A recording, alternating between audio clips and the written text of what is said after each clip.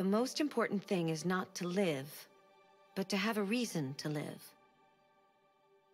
That's a quote from Jean Giono, a French writer.